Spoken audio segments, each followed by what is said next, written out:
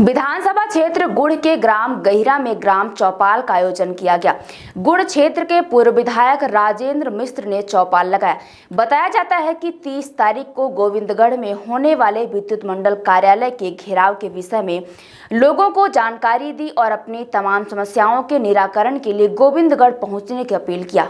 इस अवसर पर श्री मिश्र ग्राम बासा, नकटा, तमरा, पड़ोखर, रौरा आदि ग्रामों का दौरा किया। चौपाल में प्रमुख रूप से पूर्व जनपद सदस्य मोतीलाल यादव, पूर्व सरपंच राजेंद्र यादव, पूर्व सरपंच मड़वा, राम निरंजन शर्मा, पार्षद गोविंदगढ़, विजय गुप्ता, दिनेश विश्वकर्मा, गणेश विश्वकर्मा सहित सैकड़ों लोग इस चौपाल में भागीदारी निभाई। सर्व सुविधा नेशनल हॉस्पिटल समान तिराहा रीवा में अब कैंसर का सफल उपचार और ऑपरेशन की सुविधा उपलब्ध है। हमारे यहाँ मिल रहा है आयुष्मान भारत निरामय योजना का लाभ। आयुष्मान जन आरोग्य योजना के तहत सभी प्रकार के मेडिक्लेम की सुविधा उपलब्ध है।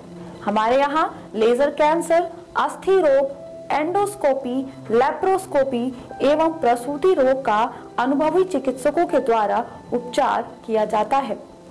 कैंसर के इलाज एवं ऑपरेशन अब रीवा के नेशनल अस्पताल में उपलब्ध है।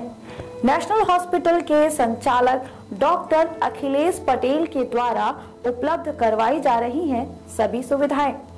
आयुष्मान से संबंधित किसी भी प्रकार की जानकारी के लिए संपर्क करें।